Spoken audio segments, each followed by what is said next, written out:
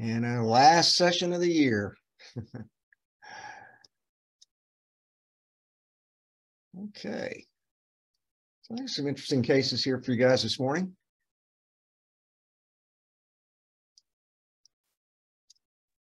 Hi, good morning, Dr. Cockerell. This is Annie. I'll be doing the first one. Okay.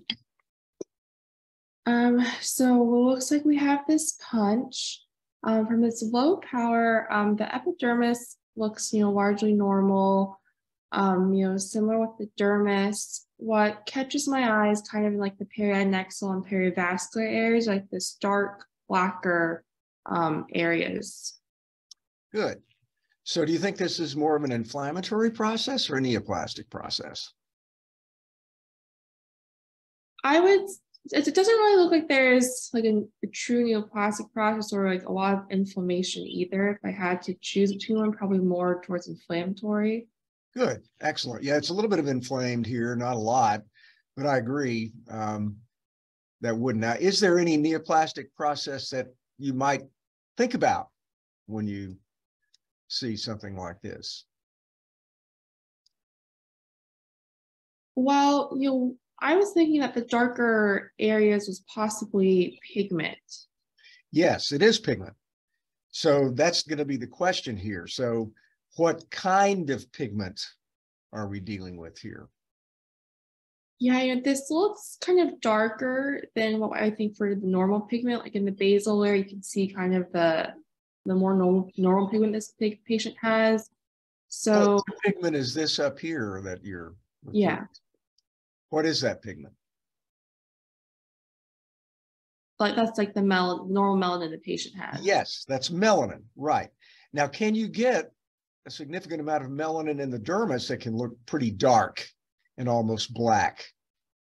Yes. Um, you know, some ways you could get it, you know, could be like a tattoo, but it's not like widely distributed like enough for me to think of tattoo.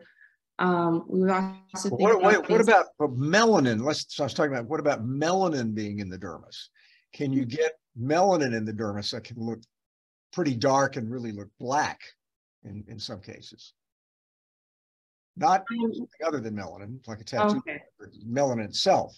Yes, you can. Um, you can get like melanophages. Um, good, like in post-inflammatory pigmentary alteration. That's that's a good idea. Excellent. And where where else do you see a lot of melanin in the dermis. Sometimes it really looks very dark. Um,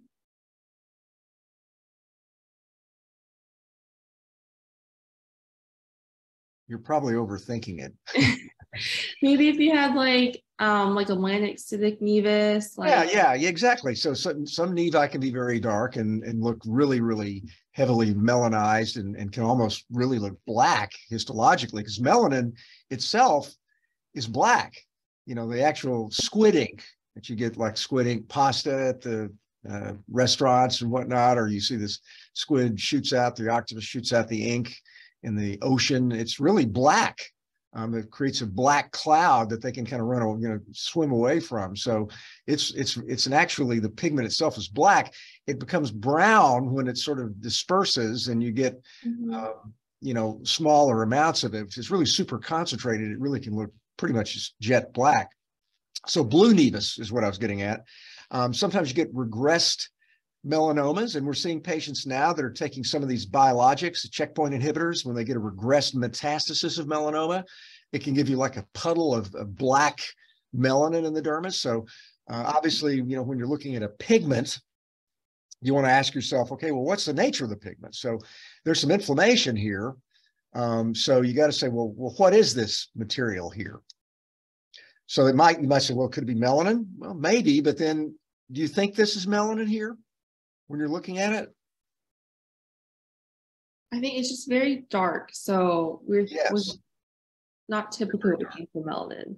Good. And it's almost got these clumps like here, like it's a, like, you know, you can just almost imagine this was sort of maybe like a little tiny um, clump of this material that got put in here. And this, there is an inflammatory response to it. It's trying to, body's trying to get rid of it, at least in some areas. Um, and then you can see if you look at it, there's little tiny dots. You got these larger aggregations and clumps. So yeah, this this doesn't look like typical melanin, and uh, it doesn't really transmit light at all. Usually, if you look at melanin, even when it's really really dark, and blue nevus, for example, that's heavily melanized, you'll still see the melanin granules in there. So you can actually see them. They're, they're brownish um, when you look at them in the microscope. So it's it does it's not like this where it's just solid jet black like this. So that tells you it's probably not melanin. So mm-hmm. what is so that's the, the key teaching point in this in this case is, is what is the nature of this pigment? What do you think it is? Um, so going back, we, you know, we're, you know, it was not widespread enough for us to think tattoo. We were, um, what do you say Tell me about that that business of not being widespread like a tattoo? What what do you mean by that? I'm I'm confused a touch. Um, like it's just contrary like the perivascular and periadnexal areas where if it um or a tattoo we kind of see it more like distributed in more areas like dermis. Well, there's two kinds of tattoos that people get. There's the professional tattoo that everybody seems to want to have on their body these days. And if you look at those, you're right. You'll see kind of more of a diffuse uh, pigmentation. It's usually kind of situated kind of in this area right up in here. It doesn't really go super deep. Um, and it's often associated with multiple colors. You'll see green, yellow, red, uh, dark you know, color like this in a way. So you'll you'll see those kind of things. And then there's the other kind of tattoo that's not professional. Uh, maybe the one that's done in a, in a prison, you know, or maybe somebody stabs himself with something and gets a traumatic tattoo. So those mm. are a couple of things. And then there's one other kind of tattoo that uh, it's become less common today, but it was more common back when I was a kid and I used to go to the dentist to get my teeth drilled out. Um, what tattoo is that that occurs in the in the mouth area quite commonly? It's now actually it's more common, um, say in the earlobe or in the nose than it used to be um, in the in the gingival area. Uh, like an amalgam tattoo? Yes, silver amalgam or mercury amalgam is, is what that is. And so they, when the dentists make that amalgam, and uh, yeah, you guys probably have never had that experience, but they, after they drill out your tooth and you got a cavity, they take a little syringe like device and they sort of just inject this stuff and sort of pack it in. And it's kind of like putty. It's got an interesting sensation that you kind of feel when they kind of put that in there. And sometimes they miss and they put a little bit of it in your um, gingiva or maybe your buccal mucosa and it gives you a, a blackish colored area and it looks like a melanoma. So we get skin biopsies sometimes or biopsies of those areas rule out malignant melanoma, usually in older people that because they don't use uh, mercury amalgam, silver amalgam anymore. They use porcelain and things like that. So they have a different kind of material for filling today. But uh, that's another one. Now, where is the, if this were, say, mercury, or, or like localized argyria is the other name for that. And, and the reason, why would I say that the more common locations today are like in say the ear or the nose area or you know maybe other parts of the body why is it more common there than in the gingival area or the buccal mucosa today in the 2000s 21st century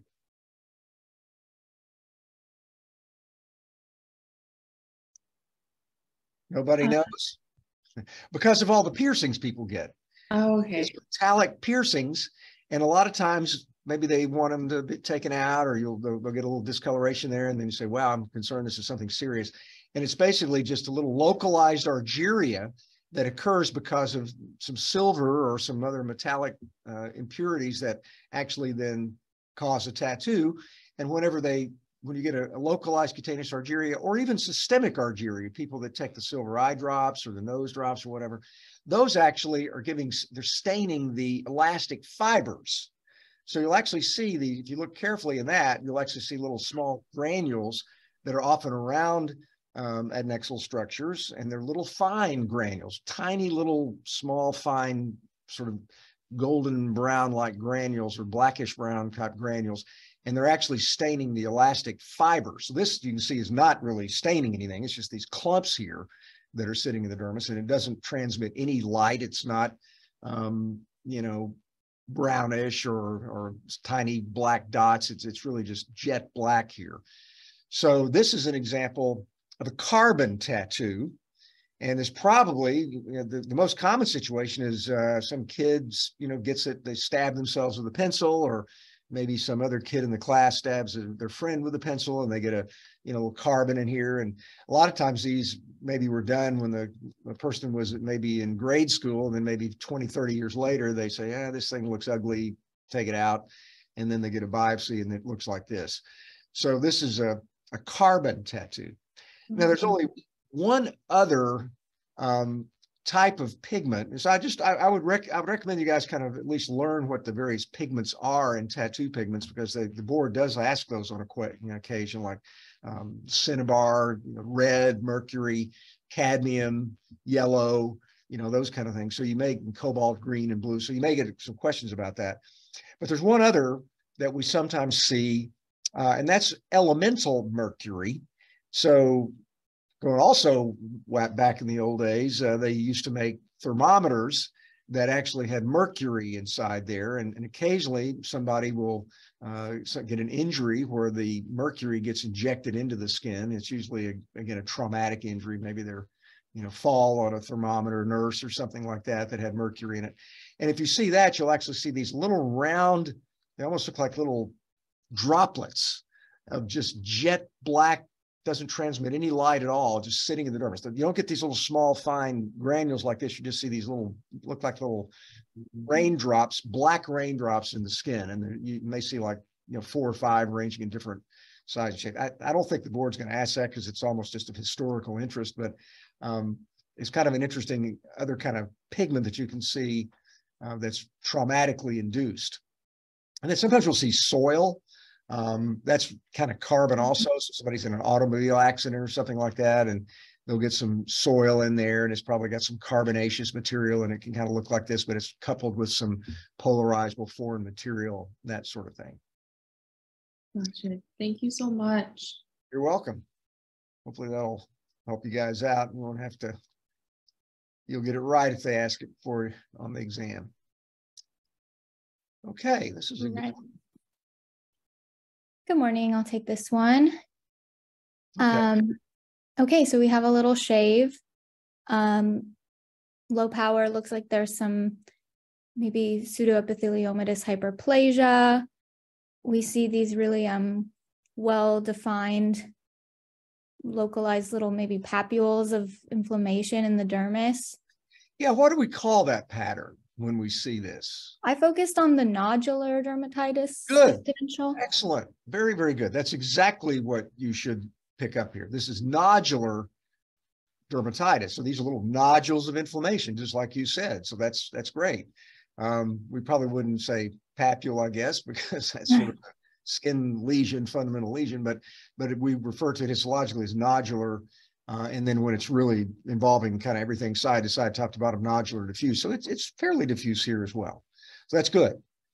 So and the nice thing about that is, again, there's really not a gazillion diagnoses that fall into that pattern. So you can kind of um, start making your di differential diagnosis a little bit more specific. So when you went to higher magnification, what kind of inflammatory infiltrate did you see in these little nodules here? It's it's really mixed. Um, it looks like granulomatous information inflammation. I saw lots of histiocytes. Um, there's neutrophils, there's plasma cells, and then I also saw a lot of eosinophils. Good. Um, the histiocytes, it's kind of a little bit deceiving, I think, if, if you really look carefully. Um, some of these may be histiocytes, but I think actually what a lot of them are, are blood vessels that have got epithelioid um, endothelial cells that are just kind of prominent. Mm. So they're kind of looking like histiocytes, histiocytes, but that's okay. I mean, you're, you're totally correct that it's a mixed infiltrate with neutrophils, eosinophils in this nodular pattern. And uh, what about the neutrophils? Were all of them sort of intact or were any of them sort of demonstrating any other sort of findings? No, I did see some like um, dust, neutro- dust. Excellent. Good. So what was your differential diagnosis of this pattern? Well, I noticed these really atypical looking lymphocytes in some places. They just stained really purple and large. Um, they looked a little atypical to me. So I was thinking something lymphomatous. I thought maybe granulomatous mycosis fungoides or a CD30 lymphoproliferative disorder, since we see those eosinophils. What about the neutrophils in that, though? Is that you commonly see neutrophils in nuclear dust and granulomatous Not in that? Really, you can think about granuloma faciale. Yeah, there you go. So now you're thinking of yes, Mhm. granuloma faciale. Now let's look. Go back to lower magnification. What part of the body are we on? Are we on the face here? I don't think so. Yeah, it's seems like probably not. There's there's maybe a couple of uh, sebaceous glands, but not very many. So if it's not on the face, maybe it's say you know near an extremity or something like that, and it has histologic features that look like granuloma faciale. What is the diagnosis? Erythema elevatum. Good, erythema elevatum diutinum. Excellent. That's exactly what this is. So this, and this is the good pattern for it. Now, you know, granuloma MF, that's a generally doesn't give you this kind of nodular proliferation like you see here. I think that Mhm. nodular infiltrate that you saw was, was is really helpful. Um, the cases in most of the cases of granuloma MF I've seen also have features usually of, of patch or plaque stage MF kind of overlying with epidermotropism, and you just get histiocytes that kind of come in to sort of fight off the mycosis fungoides. So that's at least what some people think is going on there, uh, but doesn't usually give you the nodular infiltrate and doesn't give you the nuclear dust and neutrophils that you see. So um, tell us a little bit about EED. What, what's going on there in that entity? What, what's the pathophysiology of it, if you will? I think it's a it's a small vessel vasculitis. Yeah, it's thought to be a chronic vasculitis um, that gives you this nodular pattern. And as time goes on, the vasculitic changes, and, and, you, and you can see maybe there's a little bit of fibrin in that blood vessel right there. It doesn't, I've seen a couple of cases over the years. Uh, I saw one case many years ago that we had a really early biopsy of it, and it looked like just classic LCV. And as time went on, it, it developed this pattern, and then eventually they turned into the nodules that you see with those fibrous sort of onion skin like fibrosis surrounding these. So as, as this thing progresses over the course of time, the inflammation starts getting less and less. It usually doesn't go to zero, but it starts getting less prominent and you start getting more fibrosis. It's kind of an onion skin fibrosis that surrounds these little nodules and you end up looking more like a, a fibrotic process, which is kind of interesting. So I'm not sure a lot of us know why it does that, but um, if you get a patient that has EED, do you just kind of high five yourself and then move on to the next case, or, or what do you do in that situation? I would probably start them on treatment. You can do antibiotics like Dapsone, I think. Dapsone might work. I, I think that's kind of what a lot of people use. It's sadly enough doesn't really work too terribly well. Some people have tried laser. Um, you know, I, I, maybe with all these eosinophils, you might even try, you know, one of the new um, JAK inhibitors, or maybe do Dupixent or something like that. Possibly, I, I, don't think there's really super good treatment for this. But there's, but the other, the real question I was asking is, do you just kind of not worry about anything else that could possibly be going on with the patient? Oh, um, they could have some kind of arthralgias. You should make sure that they're that they don't have joint disease as well. Well, you know, it's been associated with systemic illnesses. You know, it's been associated with certain uh, paraproteinemias. Uh, you want to make sure they don't have HIV, HIV. infection, for mm-hmm. example. You want to make sure that they don't have uh, some, there's some bacterial infections that have sort of precipitated these. So uh, make sure the patient doesn't have any underlying disease. That's probably the most important thing. Uh, so just rule that out. Once you've done that, then you can unfortunately try some of these therapies that don't work. And this, this is really kind of a bonus question, but uh, these little clefts here, those actually often have cholesterol in them. That's not just necessarily an artifact. And one of the old names for this disease used to be extracellular cholesterolosis, because a lot of these lesions get kind of a yellowish uh, color, and that's probably because of the neutrophils and inflammatory infiltrate kind of breaking down, releasing some of their uh, you know products, and then they get these little cholesterol clefts. So you see that in ED. But probably the most important thing is just to make sure that they don't have any underlying systemic illness that's associated with it. So, so very, so good. You got the, the answers correct. I mean, and it's kind of a histologic identical twin to granuloma faciale, only it's not occurring on the face. Mm-hmm. Um, and um, just make sure that they don't have any underlying disease when you, you make the diagnosis. Thank you. You're welcome. Okay, this is uh, a good one here. I can take this one. Okay, great. Um, so I think just at low power, it's a pretty deep punch. So they must have been looking for some sort of deep process. um, there's some thickened collagen bundles, maybe some clefting. Okay. I think I'm not seeing a lot of inflammation. No, not and I'm not and I'm not seeing like increased number of fibroblasts. Good. So it's not a fibrotic process. What about down here? Hmm. Looks like very thick collagen bundles to me. Yeah, very thick. And what? And you said the fibroblasts are not much increased. In fact, what do you think? You think maybe they're actually decreased if you kind of look in this field right here, for example? I think they're decreased. Yeah, they're almost absent in some areas. And and notice that they're homogenized. In other words, you don't see these nice uh, up at the top up here.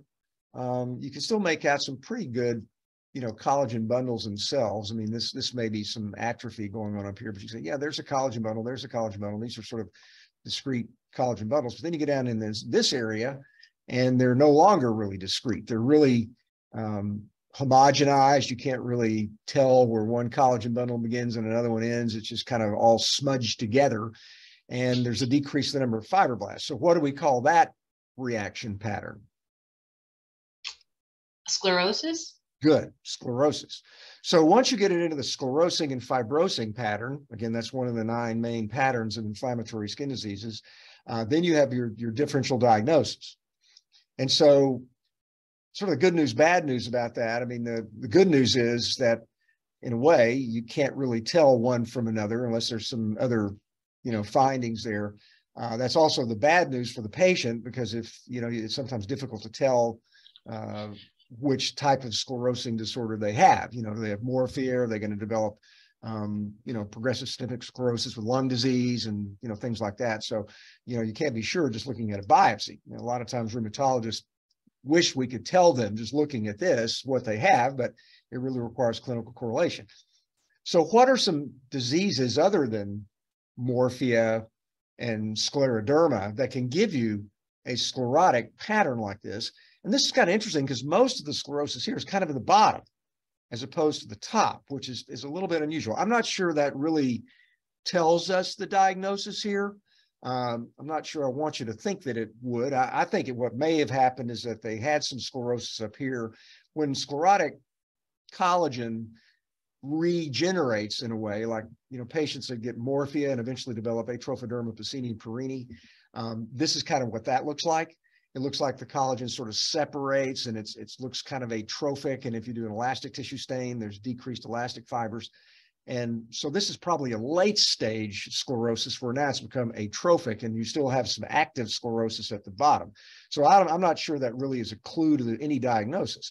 But what I would like you to know is the board examination could put uh, a multiple choice question and they show this and say, which of the following disorders uh, is not associated with this histologic reaction pattern?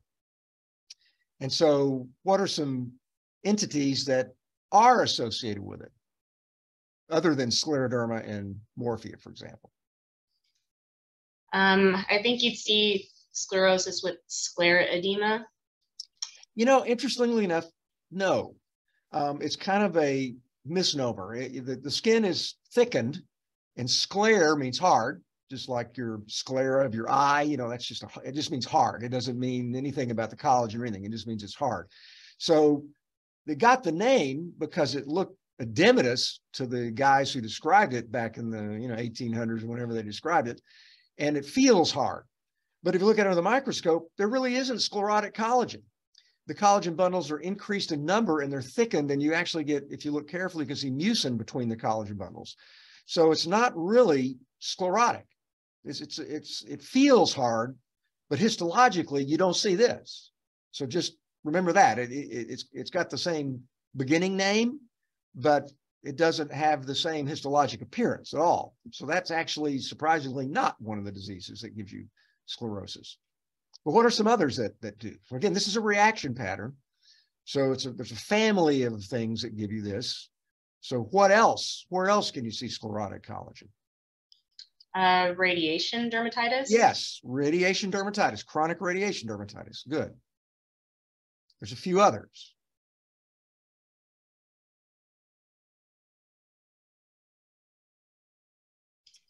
Lichen sclerosus. Yeah, uh, lichen sclerosus, and that's if it's pure, true lichen sclerosus, you'll just get papillary dermal, you know, involvement. You don't really get the reticular dermal involvement in that. If it's true, pure LS&A, we see a lot of cases of morphea with features of LS&A where you get both. And clinically, it can look more like LS&A because the white ivory, you know, changes are what you see clinically. Uh, lipodermatosclerosis. Good. Yes, you do see it in that. Usually not to this degree, but yes, you do. And you also get the associated uh, membranous fat necrosis changes and the stasis alteration changes above it.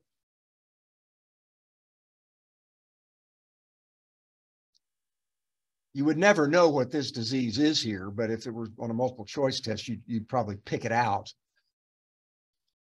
What Maybe graft versus host disease also Yes, has Good, good. Yeah, sclerodermoid GVHD.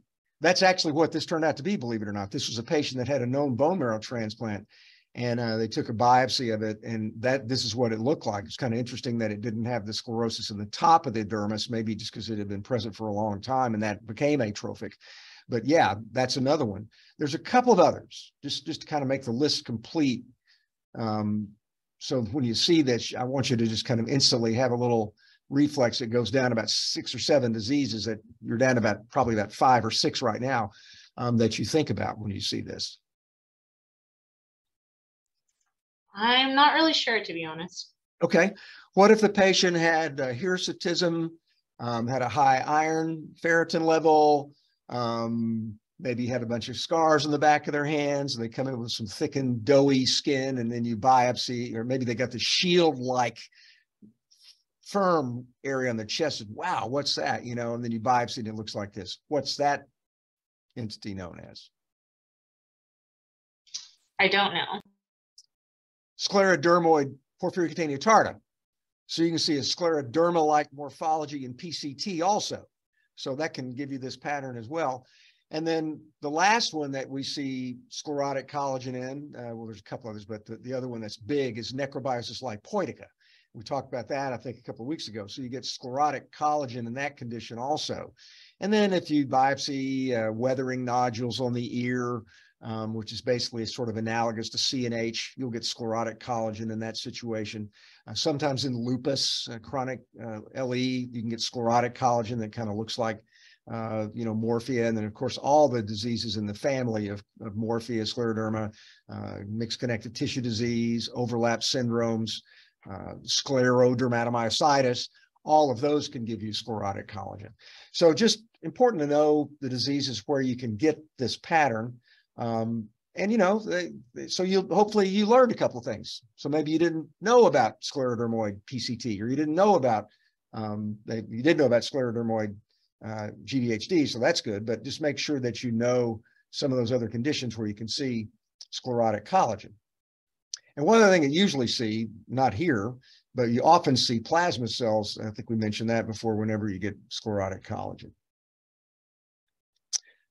Okay. Hey, good morning, Dr. Cockerell. I can take this one. Okay. Great. So it looks like there's a punch um, of the scalp, lots of terminal hair follicles down into the fat. And um, on the top of the epidermis, there looks like there's a, a lot of acantholysis with like a um, suprabasilar split right above the dermal papilla. Good. And of course, some hemorrhage around there. And then underneath that, there's a pretty dense um, lymphocytic infiltrate, I thought. Yeah. Is it only lymphocytes? I thought there was maybe like could have been like uh, some eosinophils potentially. Yeah. There are some eosinophils. We'll talk about that in a moment as well. And then, uh, so here's suprabasilar clefting that you mentioned. What about here? Yeah, so that's still kind of intraepidermal. um, there's like some ballooning or potential acantholysis. Like some of those look like necrotic keratinocytes. There are good. There's some necrotic keratinocytes, and there's also I'm not sure they're really ballooning. I, I agree with you. I think they're just kind of acantholytic up here. But is this super suprabasilar here? No. No. So how do you reconcile this with this?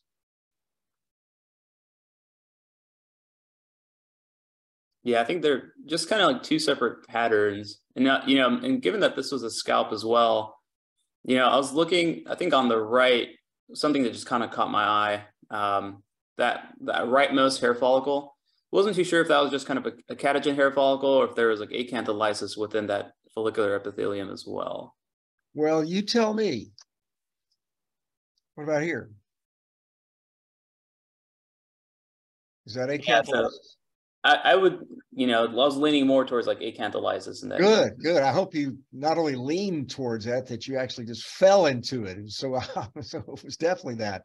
And there's some necrotic cells. Whenever you get acantholytic cells, they can die, you know, because they're lost their connection to the epidermis. They don't have any more nutrients there, so they can they can die. Um, and then uh, these follicles, what stage of uh, of the hair cycle are we looking at here? I believe that one should be, is it catagen? Good. It's got a thick, massive, glassy basal membrane zone, so it's shifting into catagen. Here's one that's gone from catagen, still here, early telogen over here, and this is anagens. You got three different cycles. Beautiful example of that right here. And uh, why do you think that's happening? I don't know if any of this is, would be driven by like the inflammatory infiltrate. Yeah, yeah. No, I think you I think that's exactly what's happening. This is a huge, it's a really an acute inflammatory process. Um, it's a stress on this area. Um, it's caused the hairs to kind of shift into these into the state. So this would have an area of alopecia in addition to this crusted, eroded area up here. So what's your diagnosis here? So it might be kind of a, a, broad differential, but with like the suprabasilar split and like in, involving also the follicular epitheliums, maybe potentially pemphigus vulgaris. Good. Okay. Good. That's that is the diagnosis. Okay. So it's a, actually a, a small differential diagnostic. However, this is important because I don't want you to make a mistake on an exam if you see this and they have the what are they going to put down as a choice? Let's say it's a multiple choice question, and they have what's the most likely diagnosis? A, pemphigus foliaceus. B, pemphigus erythematosus. C, pemphigus vulgaris. D, Hailey-Hailey disease. E, paraneoplastic pemphigus. What's your why? What's what are you going to choose here? Uh, you can probably go like Hailey Hailey potentially, or well, that's what I don't want you to choose. Yeah. I don't. No, what, if you were given that, that's what um, would be the trick answer. Yeah, well, see, and that's the whole thing here. And number one, it's on the scalp. When's the last time you saw Hailey-Hailey on the scalp? Yeah. Never, number one. And then this is the most prominent finding, you know, the fact that you've got this suprabasilar. You never see this in Hailey-Hailey. But in pemphigus, you can sometimes see this. In pemphigus vulgaris, you can sometimes see this. So that's what the te- like Dr. Freeman used to say years ago, my old partner, is that there are a lot of things in textbooks and much of it is true. And so, you know, this that if you read a textbook, will you ever find in the, in the chapter on Pemphigus vulgaris that you can sometimes see Hailey-Hailey like histology like this, like the dilapidated brick wall going not only suprabasilar, but above the epidermis in the middle of the epidermis? No, you won't. But in the real world, you do see it. And that's why you shouldn't fall into the pit of saying, uh oh, it's Hailey-Hailey when you've got everything else showing classic pemphigus vulgaris here. So uh, just remember that sometimes in pemphigus vulgaris, you can see this kind of change. Not, not, not in superficial pemphigus. That, that doesn't happen there. But in, in pemphigus vulgaris, you can sometimes get some changes that simulate Hailey-Hailey disease, like here. So it doesn't mean they have two different conditions. And if you did immunofluorescence here, it's going to light up, uh, you know, like the classic pattern, and it's it's not going to, you know, it wouldn't be negative like you would see in Hailey-Hailey disease. It just shows you that you can get some quote epitope spreading type of histology uh, when you see pemphigus vulgaris. It can sometimes look a little bit like Hailey-Hailey in some areas. So that hopefully that's helpful to you. Now, let's talk about the eosinophils. Do you commonly see EOs in Pemphigus vulgaris? You do. Yeah, you you kind of you do. In fact, actually, interestingly enough, occasionally, and you'll probably see this every now and then, a patient will come in with a very high eosinophil count in Pemphigus vulgaris, circulating eosinophils. It can be, you know, very high. Um, I've seen that a few times over the years. I don't know why, but it does happen every now and then. And you know, kind of makes you wonder if they might respond to, you know, one of our new anti-eosinophilic drugs, like maybe Dupixent or maybe one of the new JAK inhibitors or something that might help with some of the inflammation. So uh, we know that, uh, uh, you know, our, our, treatment of choice today is probably rituximab, but, you know, you kind of wonder if maybe if you wiped out some of this inflammation also, you might uh, get some, with the eosinophils in there, you might get some benefit of therapy. So that's good. And that's that's a pretty good example. Of, that's something that you could very well get on the exam. Now, I don't know if they're going to show you something that's got this artifact, this secondary change in it, but at least you'll realize now that that can happen. And if they do happen to show you a slide that's got that in there, don't let it trick you. Don't, don't be tripped up by it. We'll let the other guys from other departments, other other medical schools get tripped up on it. Thank you.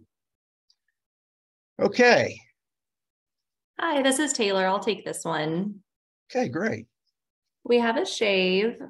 Um, from this power view, I was thinking we either have potentially a nodular dermatitis or even a neoplasm um, from Good. this. Good, excellent, very, very good. And if it were a neoplasm, do you think it would be more likely to be benign or malignant based on what we have here? So I think it's pretty well circumscribed, um, kind of in the center. I would lean more towards benign. Good, excellent. And it's also, if you draw a line down the middle of it, and we don't have the whole thing, but it probably would sort of be like this.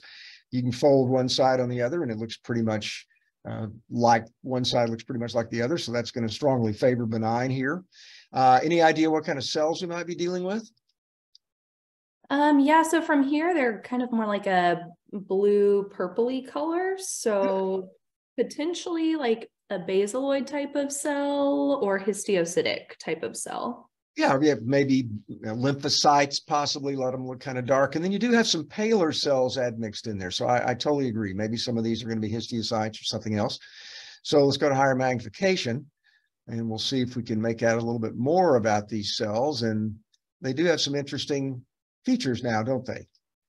They do. I was thinking these looked like foamy histiocytes. Good, excellent. Foamy histiocytes.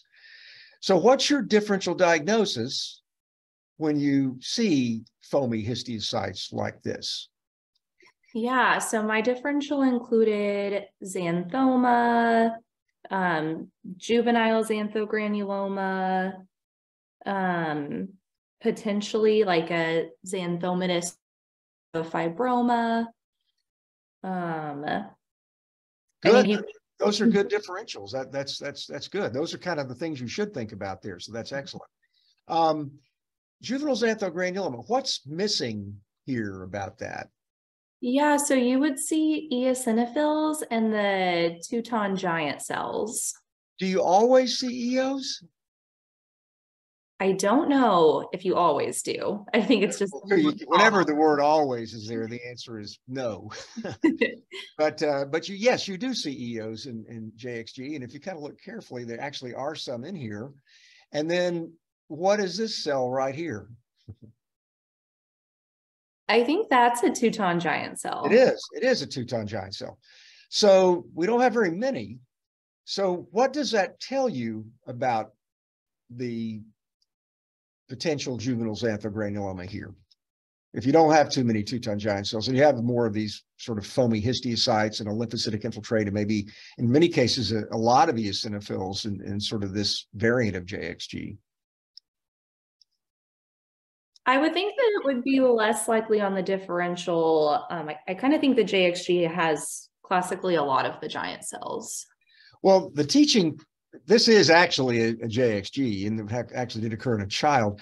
But when you get an early lesion that's in an early stage of evolution, so let's say one's only been there, say, for, you know, a few weeks or a month and you biopsy it, um, it's going to look more like this than if one's, say, been there maybe six months or a year the longer they've been around, the more Touton giant cells that they have. So if you get kind of an early lesion, and some, uh, there are some syndromes where you can get multiple xanthogranulomas. I believe like you can get leukemia. I think even in, in some variants of neurofibromatosis, there's been some associations with XGs and underlying myeloproliferative disorders. Um, in those situations, if they kind of occur eruptively, they may have this pattern more than you get the Touton giant cells. So if you get an early evolving inflammatory stage of XG, you don't get as many Touton giant cells yet because they haven't had a chance to develop. So that's the main teaching point is just this wouldn't exclude the diagnosis of it just because you don't have a lot of them yet. So it's more like the chronology, the lives of lesions, if you will. So if you catch it early, not as many Touton giant cells. Catch it later, less of the foamy histiocytes and more of the Touton giant cells. And these probably turn into Touton giant cells. And, and I'm, I'm, I think they eventually do, because if you look at a Touton giant cell, they have some of that foamy material still in the cytoplasm, as well as the multiple nuclei and the and the sort of amphophilic cytoplasm. So I'm not sure about that, but my sort of thinking is that you have a lot of these cells early and as they as the lesion st sticks around for a while, then they eventually turn into Touton giant cells. Now, what other entities are sort of in the differential diagnosis of XG and xanthomas when you see this pattern? So there's maybe one or two other things to think about. You had a good differential, but there's a couple of other things just to, you know, potentially add in there that they might stick on the on an exam to kind of try to trip you up. Um, maybe like progressive nodular histiocytosis. Yeah, they could do that. Yeah, some of those weird non-X histiocytoses. Yeah, that could be on there. One of those. Um, what about multicentric reticulohistiocytosis? Would that look like this? I think that that would be less foamy. Good. Yes, it is less foamy. You don't really see the foamy histiocytes in there, but um, that's something to kind of think about. And a lot of times we'll see a lesion that's got tons of those cells that look like the cells of reticulohistiocytic granuloma, maybe with a few of these cells back in the background. And then we say, well, this would favor it maybe being an XG with more, um, you know, reticulohistiocytic cells than foamy than than uh, Touton giant cells. So there can be some overlap between those in some cases. And the clinical between those two is obviously quite different. I think a lot of people sort of think today, if they have something that's just one or two lesions and they have some of those uh, cells that look like reticulohistiocytic uh, giant cells, and maybe if a few of these, maybe a few Touton giant cells, it's probably just a variant of an XG that's just got more reticulohistiocytic cells in it versus the, the disease that's got the widespread number of lesions with the mutilating arthritis. So I think a lot of us sort of lump uh, today that if they just have a couple of things, rather than calling it reticulohistiocytosis, we just say it's probably an XG with more reticulohistiocytic morphology than that disease. So that's the one you really have to worry about because they get that horrible arthritis and you want to try to treat it um, if you can before they get to that stage. Uh, and the treatment used to be bad, but I think now with some of the new biologics, maybe we can actually sort of be more effective. All right, good. So hopefully that was uh, was helpful for you guys. All right, I'll take this one. This is Caroline. Um, so this was a punch biopsy. Um, I can see already like several hair follicles. Um, on higher power. I noticed kind of like the dark. I'm not gonna uh, let you go to higher power yet. Oh, okay. So let's so let's talk about this here. You said you saw hair follicles. Mm-hmm. What part of the body do you think you're on? I was thinking probably scalp or absolutely correct. Absolutely perfectly scalp. Now, why scalp as opposed to face? Um, I think there aren't as many like sebaceous follicles that would make Good. me think of face. Um, what about then, the what about the depth of the hair follicles themselves? Yes, they're pretty deep. They are deep. They're rooted very far down in the subcutaneous fat. Okay. Is this normal? Is this a normal biopsy? No, I thought No. it looked like pretty square, and then also just the hair follicles themselves look a little deformed. What do you have when you're looking at it at a biopsy from the scalp? What are some of the things you're looking at to decide whether it's normal or abnormal? Hmm, I. If I biopsied your scalp and we stuck it up here, mhm, what's it going to look like? It's going to be normal, number one. And mhm. What's going to look? What's the? What's it going to look like from a normal perspective? What are we going to see in a normal biopsy of the scalp? Um like hair follicles and in different stages mostly like Probably, probably in your. If we biopsy your scalp, there's probably going to be one stage. or oh mostly um like telogen I Or- hope not. I sorry really hope sorry we biopsy your scalp. Catagen. I hope we don't see catagen follicles in your scalp either. That would be sad if we did. okay so mostly anagen Mostly anagen. Yes, yes, yes. And how many anagen on Yeah. this power in a normal scalp are we going to see normally? i think like 80 percent Yeah, eight to 10. Well, well eight, probably 100% are going to be an anagen, but there's going to be eight to 10 rooted down here in the subcutaneous fat on a four millimeter punch biopsy from the scalp. How many do we have here? i didn't see any really Well, this one is. oh, That's okay That's a live follicle. This one's doing okay. And this one's still probably okay here. I'm not sure about these two. Those don't look too healthy. And then there's only three. So we're missing seven. We're missing mm-hmm. between five and seven anagen follicles here.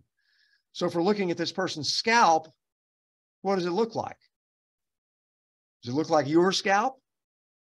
no it's No. abnormal it's going to look like there's not enough hair there. It's going to be an alopecia. Okay. Mm-hmm.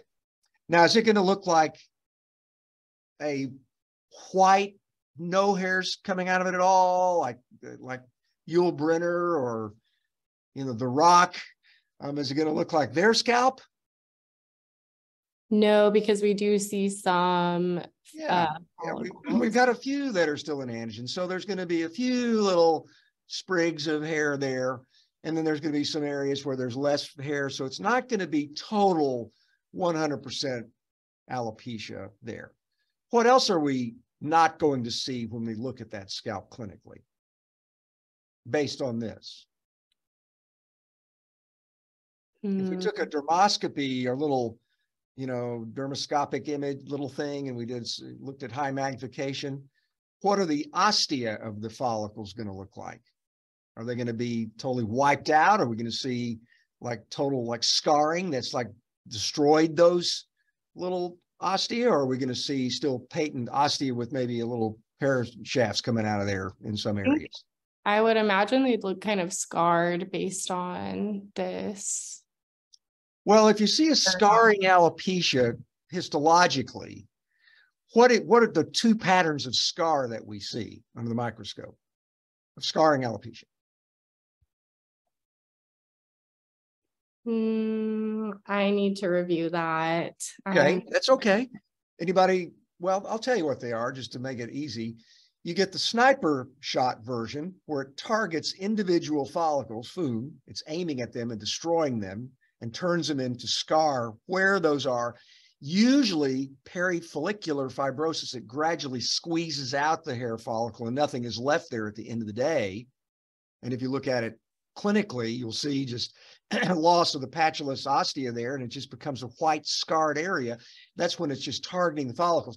And then you get the um, army approach where it's like the invasion into Ukraine, where the tanks are going across the border and they're just the hair follicles rupture and you get suppuration and it wipes out everything in its path, like in you know uh, folliculitis decalvans with neutrophils.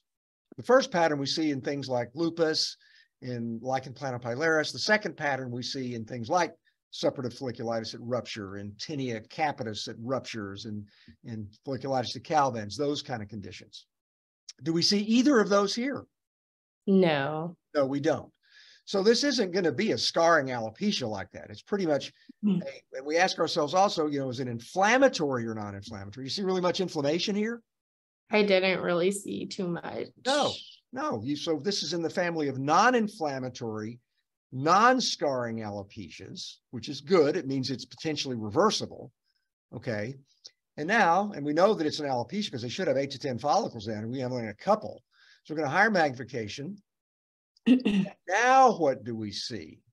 So some things are pathognomonic in dermatopathology, like molluscum bodies, herpes virus, you know, infection in, in those multinucleated giant cells. Do we see anything here that's pathognomonic? Yes, I think like the pigmented hair casts. The Good. What is that called? What is that known as? Um, I know it's like blobs of melanin. Um, I know it goes Melanin. traction. it's also degenerate, degenerated hair shaft. And we call that trichomalacia, Okay. trichomalacia. And where, where do you get that? What disease is, is this associated with? Um, often like traction alopecia. Close. You're close, but not quite a cigar. You're very close, but Okay. not the full cigar, sadly enough. Um, just like follicular trauma in general, like tricholosis and Well, what kind of follicular trauma? There's two kinds of follicular, there's, there's multiple types, but the two main types are traction, which is where like the little African-American girls, their mom puts her hair in the cornrows and they gradually strangle the hair follicles and you get this onion skin fibrosis that gradually chokes off the follicle like hanging someone with piano wire. That's slow death of the follicle. And there you don't get this. You don't get trichomalacia in that situation. So in traction alopecia, true traction, no trichomalacia. It's like squeezing somebody's, you know, another analogy is a thumb screw, you know, just gradually destroying that hair follicle. What about if you're like a nervous Nelly and you're worried about stuff? You've got an exam coming up and you start twisting and pulling your hair and you know you're eating your hair and all this kind of stuff. You know, Mhm. what's that disease known as? I think it's like now known as tricholosis or previously trichotillomania. Yeah, well, I, I still call it trichotillomania, but I mean that's the disease itself. I guess is it is it now we're calling it trichotillosis because we're not allowed to call it that or something? I don't know, but Oh. it's basically due to more twisting and pulling and and and tugging, you know, that sort of thing of the hair shafts. And this occurs in any lots of different areas of the body, eyela- eyelashes, eyebrows. Um, it's not just the scalp, and it gives you this, you know, moth-eaten geometric patterns and that sort of thing that you see. So when you see this, it's pathognomonic of twisting and that type of trauma, not traction. Okay, that's an important distinction. And traction is is permanent alopecia. You know, once you choke off those follicles and you turn it into a scar, it ain't coming back. It's not coming back. That's why we discourage, you know, people from doing those kind of things. Because if they do it for a long enough period of time, those you've destroyed the germinative, you know, cells at the mantle zone area and they never come back. So you don't want to do that. That's a permanent scarring alopecia that just hits the follicle. This, the good news is, is not scarring. If you get the patient's, you know, psychiatric or whatever other problems under control, this can go away and the hairs can actually come back and everybody lives happily ever after. So it's important distinction to remember. The only other setting we really see this in is patients that have alopecia areata. This patient does not have alopecia areata. They just have pure trichotillomania. But alopecia areata, sometimes they get the inflammation and then they say, oh my God, my hair's falling out. And guess what they do? They help it along. They start feeling it, saying, is the hair falling out today? And then the next thing you know, they've got superimposed trichotillomania. So uh, that's my, I'm, I'm pretty sure that's true. I mean, I don't always proven that, but anyway, so the great case here, great way to work through alopecia. So when you get an alopecia biopsy, that's how I want you to go through it. I want you to spend more time here and less time in eye magnification. You can make this diagnosis here or certainly suspect it. And if you have good eyes, you can say, hey, wow, look at that. That's that's a trichomalacia. So you know they got to be twisting and, and pulling their their hair shafts. Okay. This one is is sort of a quasi esoteric one, but it's one that you probably just at least should know about. Good morning, Dr. Cockerell. I'm going to be doing this one. Okay. A shave of a pedunculated lesion. The hyperkeratosis is making me think we're likely on an acral surface. Good. You're right. The next question, inflammatory versus neoplastic. Um, I was leaning neoplastic. Um, yeah. I had a hard time kind of like looking at the cells. They were like a, um, I think that uh, it was a bit blurry, but um, kind of that like background of a little bit like blue stroma and then no obvious like inflammatory cells. Okay, what's the bluish gray stroma all about? Um, so um, blue gray could be, you know, like myxoid. Good, uh, excellent. Yeah, this is kind of fuzzy. I agree. I guess when they scanned the slide and it didn't scan too terribly well. Um, but yeah, you've got that bluish gray stroma, which and that blue gray material is mucin, which is this type of mucin would be what? Um, I'm not sure what you're going for. Like, well, there's two types of mucin. There's the epithelial mucin and there's connective tissue mucin. The, okay. So, so which mucin are we dealing with here? I think this is connective tissue mucin. Good. Excellent. This is connective tissue mucin, which is hyaluronic acid, mm-hmm. which is going to be produced by these blurry cells. Yes. I, I apologize for that. I can't either. I, my vision's not as good as yours, but it's still fuzzy. But yeah, so let's say those are going to be some fibroblasts in the mm-hmm. background, mm-hmm. and you got some dilated blood vessels. Um, you know, there's two. This this may have been pedunculated, but it may also have been sessile.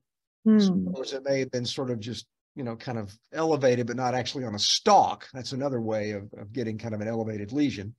So you think it's benign or malignant? I was thinking benign. Yeah, you're right. It's totally benign. And what general type of differentiation is exhibiting? Is it an it's epithelial or non-epithelial?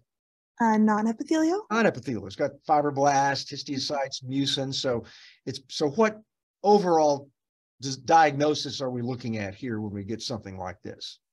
So I kept going back and forth between two possible diagnoses. Um, just the the general look of it made me think more superficial um, uh, acral fibromyxoma versus um, acquired digital fibro fibromyxoma. Sorry, yes, there we go. Acquired digital fibrokeratoma, right? That's yes, thank you. Okay. Yes. So, so those two are on the on the choice, multiple choice. You've got two you've just excluded that are don't make any sense at all, and those last two there.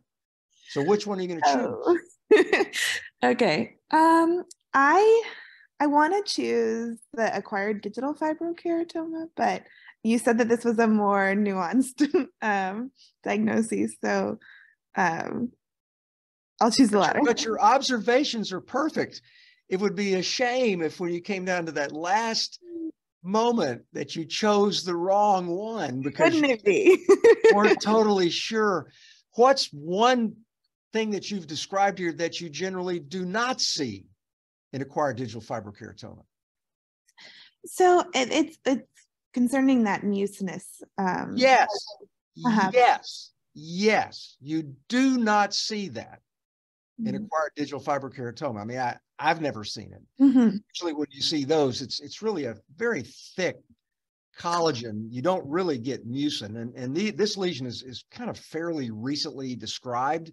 Um, I remember years ago, uh, there was a general pathologist that I think he saw this for the first time he'd ever seen it. He called it desmoplastic melanoma. Oh gosh. Wasn't that? But the thing that tripped him up was that fibromucinous stroma, which you can see that in a desmoplastic melanoma also. Mm-hmm. Uh, but it's not that. This is this is this entity, and it was I think kind of really became popularized in the in the 80s. And the mucin, it, it looks the overall architecture looks similar to acquired digital fibrokeratoma, but the mucin is mm-hmm. the fact that you've got that mucinous stroma really would trip it into the superficial acral fibromyxoma. And that's that's a pretty good name for it when you think about it. It's mm-hmm. superficial, it's in an acral location, uh, and it's got some fibrous tissue, but it's got the myxoid tissue. Mm-hmm. So that's it's a really nice. Sometimes they name things intelligently, and you can actually use everything in there to sort of make the diagnosis. So uh, a fibrokeratoma has got, you know, again, mostly just the thick collagen bundle, so really wouldn't have this. It does have a thick cornified layer, but it doesn't have the mucinous component to it. Okay, we got through seven out of eight. Um, any questions about anything we did today or comments? Hopefully that was educational for you guys. You can always go back and watch it again. Thank you so much, Dr. Cockerell. Well, thanks to you guys. Have a great holiday and uh, we will see you guys in the new year.